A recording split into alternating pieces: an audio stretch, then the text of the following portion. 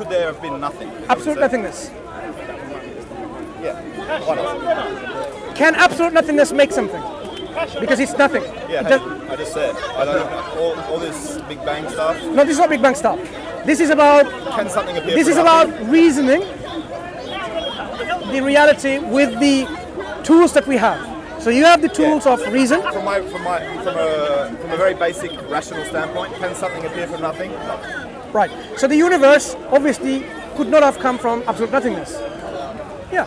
So that means the universe either always existed because it cannot come from nothingness, or something that brought the universe into existence always existed. Because at one point you But cannot have that- absolute nothingness. But then you're, you're starting from a simple point. How can something just be? No, no, I'm just saying the possibilities are the possibilities are because nothing cannot make something, and we are something. Two options: either us, we always existed, so the question of coming to existence doesn't apply, yeah, because there was no nothing, we were always there, or something brought us into existence, which was always there. Yeah, so that's where I have trouble. I, I, I can't see. You can explore. You can ex- no, no. It's not about tr- having troubles. These are the only rational choices. Because you're a rational human being, you cannot have a choice whereby nothing can be the cause of something. Because nothing itself hasn't got anything. It doesn't exist. It has no energy to make something. So our universe, you and I exist. So at one point in the past, there cannot be absolute nothingness. That means there has to be always something. Always something. Right. So either our universe was always there, that's one possibility, or something or someone that brought this universe into existence was always there. So ultimately there has to be a cause which was always there. What if Either it's the universe Yeah, what's, itself. What's his theory? Let's. Well, what's your theory? What's I your don't, I don't have a theory. You don't. I don't need to be condescending. There's no Oh theory. no no no. What's your So understanding? if you're saying there's one, there could be nothing, which I accept. No, I'm saying it So cannot it's be nothing. Or it can be something. No, we are saying, rationally speaking, there cannot be nothing. That's what we agreed on. Yeah, but you're saying, you're, well, you're positing that there's the thing that's always been there is obviously a god, your god, right? Is it? Uh, I think I'm, I have made a little bit clear. When we say it cannot be nothing at one point, then it means, by the logical extension, there was always something. Okay, so if you're always something is, There has to be always be something. explicit. What is that? No, there has to be always something. Right, so I'm going to say whatever your always something is that you won't tell me what it is. I'm assuming it's No, no, I'm not. Is it God? I'm not rejecting that. I, I'm not going to tell you. What I'm saying is, in principle, what we can agree is that there has to be always something. Right. What that something is is the matter of discussion. Right, so if you let me finish, the something could have been the single-celled organism that started all of this. That's one possibility. That's one theory that you believe. yeah. in. No, no. If you want to bring that as a possibility, that's one possibility. So that could be the thing that always existed. Yeah. So there could be a god that always existed, or there could have been a single-celled organism that always existed. Okay. And Which- there could be nothing. So No, no, no, there cannot be nothing. We already agreed there cannot be nothing. Okay, there's two things. There has to be There's God or a single-celled organism. Right. A single Either cell. of them could have brought all this together. To, Sure, sure. So now let's analyze each possibility in turn for their own merit and see which one is more rational. Right. A single cell organism. Do you think the single cell organism has the the knowledge to bring about this universe and the energy and the power? of course not, but that's the that's what evolution is. It starts, and then by a process of random mutations, Yeah. But that single cell, if it was first, whatever that single cell is, you'd know that single cell does not have the capability or the capacity to, to bring about the universe, to bring about planet Jupiter, for example. right? So the single it cell, doesn't, it doesn't have an agenda. It doesn't have. it's not about a agenda, it doesn't have the ability. Or the ability. ability. So that means that option doesn't seem to be very rational. So you're left up with other option, which is God, the creator. Which is rational. Isn't there? Is there other option? Because you are, we are postulating. Remember, implausible. no, we are we are postulating rational alternatives. The alternatives is because it cannot be nothing, it has to be something. No, something could be a single cellular organism, or something could be the creator, originator of this universe. I agree. They're both irrational. They're both. No, no, no, no. You can't say both irrational. We have only examined one, which is the single cellular organism, and we said this is irrational. Let's examine the second alternative, the originator of the universe. Now, what are we giving? What are we saying the originator of the universe is? So, we are saying, as believers or theists, that the originator is the possessor of energy, absolute entity that existed always, having power and will. Now that I can say makes sense because if you don't have energy, you cannot bring about anything. You need energy to do actions. So yes, it makes sense that this originator of our universe has energy. I disagree. I'm, I have no agenda here, right? So I- without like- energy- like I said before, I'm, I'm objective, right? And so what you're saying to me, you're, you're, you're just saying it, and it has energy, and therefore. No, I'm it not saying it has. That- I'm that saying honest- it mate, needs that, to. can- that's, that's confusing. Okay. I'm, try, I'm I'm, trying s- to understand. I'm saying let us lost. now let us now let us identify and describe as much as we can with our intellect, with our rationality, what the other alternative is. So this this thing, the second alternative, the originator, this thing always existed. If it always existed, it existed with its own attributes and qualities not given by anything else because it exists always. You cannot give an attribute to something that exists always. It is not deficient in these attributes, whatever it has. These are these are inherent attributes. If something exists always without a beginning, you can't give it knowledge, you can't give it energy, you can't give it power because whatever it has, it has it inherently always. That's where that's where my I can't get. Okay, further. okay, I fine. can't. Do you see energy in this universe? Do I see? Energy. Where? in our universe, in matter, in, in, in, in, the energies that we use. Yeah, as, as my understanding of energy is, being a There are energies. Yeah, there's energy everywhere. There is energy everywhere. Right. So that energy obviously didn't come from nothing. So that energy has to be always present. Yeah. There you go. So that originator possesses energy that was always there. That's the rational conclusion. That's physics. That's, not rational. Hang on. physics. Yeah, exactly. That's, that's, No, no, that's a theory. no, no. It is not only rational, but it is scientific and, and, and simple physics. This is what the lady is saying. I'm not going to get into a conversation about physics because I got 16% in physics at high school, right? But I wasn't listening. That's all right. Um, yeah, but look, you're a physicist or some sort of I'm a scientist, doctor. right? A So. I actually so, listen but to not a school. physicist. No, no, no. Right, it's Simple very different. physics school. But- yeah. You know, you've got all these incredibly smart people doing things with the boson Higgs and trying to trying to create another a more big another big bang and all the rest of it. It's far over my head, right? But these guys, they spend their whole life thinking about this stuff. They believe that you can create energy from nothing, No, right? no, no, they don't believe that. No, no, I'm saying that. The one of the one of the paradigms of our physics is this: you can't create energy, you can't destroy energy. Energy just transforms from one to the other, From one right? to one form You can't do that. This is one of the big another fundamentals of science. So, so That's the, proven science. Well, proven to a certain point. As, as far as science goes. So since we know that sci- energy exists, the alternative number two, which is the originator of the universe, ex- as an explanation for our universe, possesses energy or has energy which has no beginning. Always there. It's only rational and reasonable to postulate. Because otherwise you'd say you have to admit energy was created. No, but you could say energy was just there, and it's not. When you say just there, just always there, right? So we are saying we are saying because the first alternative of a single cellular organism didn't have that, the other alternative has the energy always there, meaning always there with no But beginning. that, but that doesn't mean it's some sort of divine. No, no, I'm not saying it's divine, but at You're least uh, you see, you're jumping the gun, jumping ahead. I'm not. I'm genuinely confused. No, no. What you have so far understood in this, that this alternative cause of our universe possesses energy which was always there. This is what I'm saying, Right. and this is what you're agreeing to. Okay, so we agree on that. Right. So then, your so next, now next, the next your next next next step is energy? next step is does this energy possess consciousness or a will? Is something that we can look at the universe and also come to a rational conclusion. And what is that rational? Okay, let me give you an example. Um, okay, let me give you an example of a cosmic kitchen.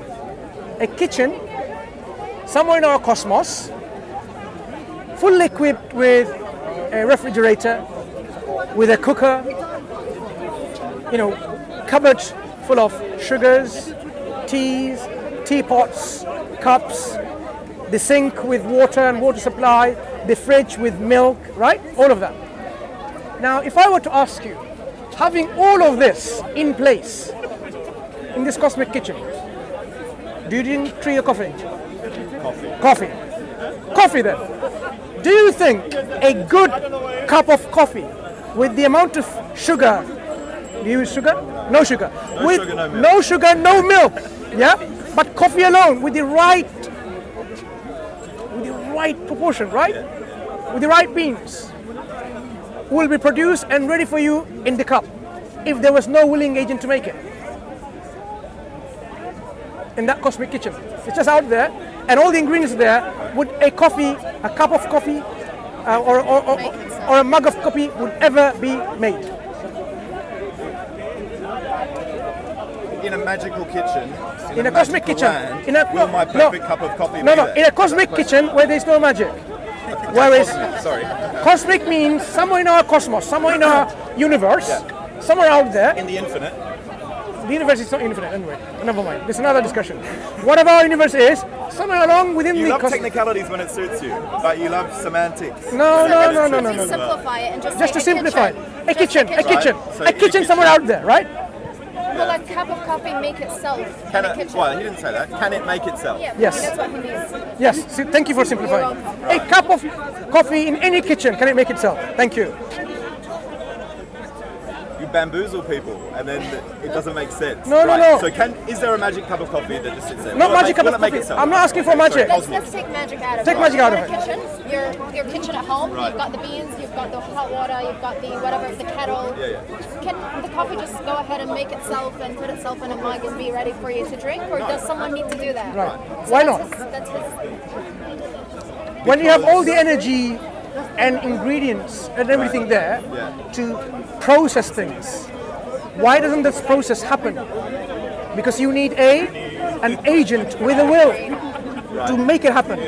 This universe to come with this diversity and complexity and unity of things that we see within our universe, for it to happen and manifest, you need an agent, a willing agent who's conscious and who has a will to bring this about.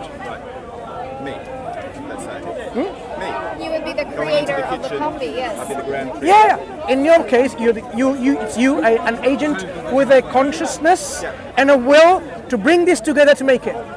So this universe is course that we're looking for.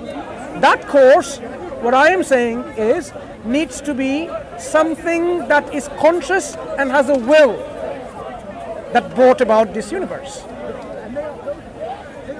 Otherwise, the universe will not proceed. It will just be there as it is. It will remain whatever it was, you know.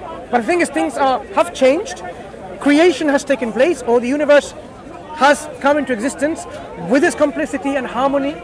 We know that this will has been in action already. This is why the Quran describes He's the originator of the heaven and the earth. When He wills something, it happens. The Quran affirms a will of this originator and calls him the originator of the universe. I believe you take many, many, many leaps to go from will and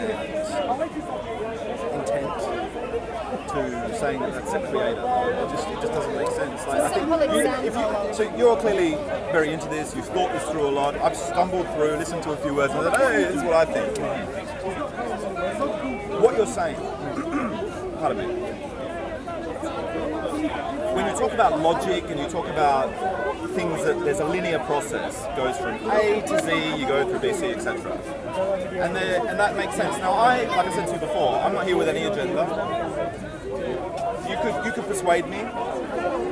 Whoever else could persuade me. The other guy over there preaching about whoever, whatever. I'm just sort of here, but and I'm completely open-minded.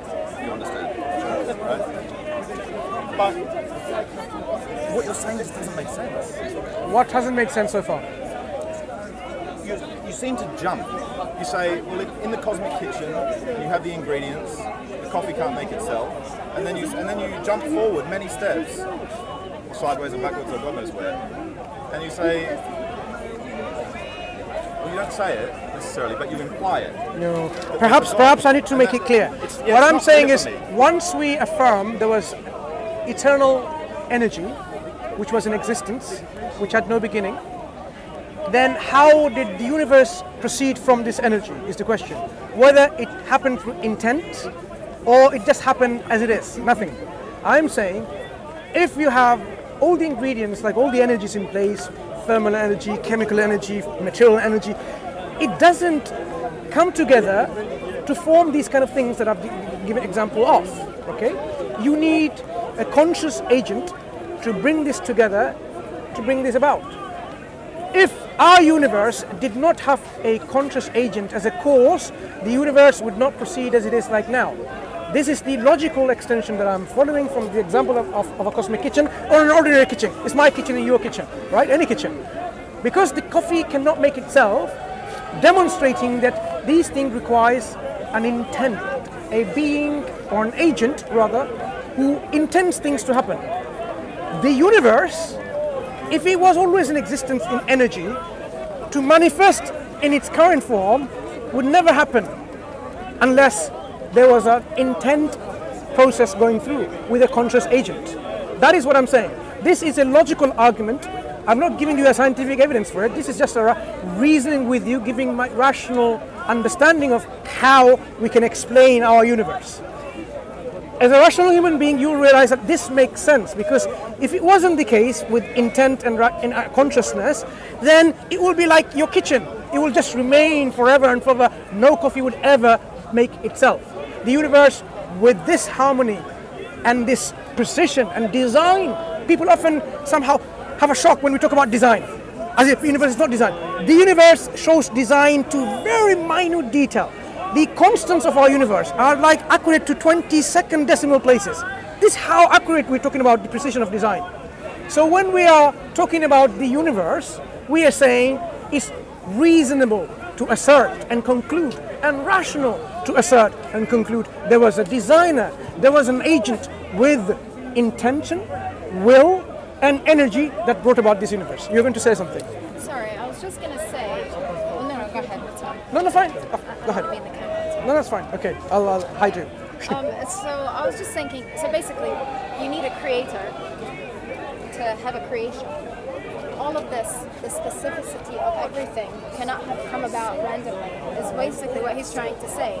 There's human beings, there's animals, there's many types of animals. There's so many types of insects and birds and trees, and everything feeds differently. Everything survives differently. Could that have all happened by random accident?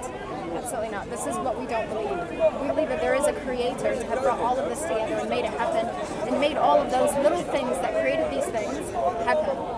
So there has to be something that's out there that would have done all of that. Is basically what I'm trying to say. Yeah, I, I just come randomly? Uh, we, we agree on a lot, but then we disagree on the, on the con- conclusion. Okay. So, So why why you- the, a happy accident or a random accident or random Too mutation? many or random accidents. There's one too many random accidents brought all of this about. So you said when you came in, you wanted proof, you wanted to see something, oh, you wanted oh, yeah, to feel it, you wanted to experience it. Yeah. You can feel this, you can experience this. This is all there and could not have come by a complete random accident. It's just how could that happen? Yeah, but so that okay. So we can we let's say we agree on that for the sake of discussion. for- yeah. That doesn't mean that. Now I know you're going to go back to all this energy stuff. That doesn't that, that doesn't mean that there's someone with energy and intent and so on and so forth that made it so. Just that, there's that's we're only considering two potential causes. Let's say So there could be creator- 50, there could be 500,000. Who knows? But ultimately, out of these millions and zillions of causes, there has to be a cause prior to which there is no cause. Because we agreed there cannot be nothing as an alternative. So there is always something. Either this something is a millions of intermediate steps, like one God creating one creator creating another creator, which created another creator that created the universe, or ultimately there is one cause which is the source of everything. Okay? You can you know, talk about billions in between, but ultimately you have to deal with the first cause yeah, but of then everything. start like where did the first cause come from? No, the first cause. No, no, no. The first cause doesn't come from any. The first cause has to be always there. This is what you concluded because nothingness, absolute nothingness, is not an option. Then something has to be existing always, and that something is your cause, which is the first cause, prior to which there is no other cause. This is the rational conclusion that you accepted earlier on, because there is no other alternatives. There has to be something always. That something is the cause of our universe. Whether this cause is a random accident, which cannot explain the complexity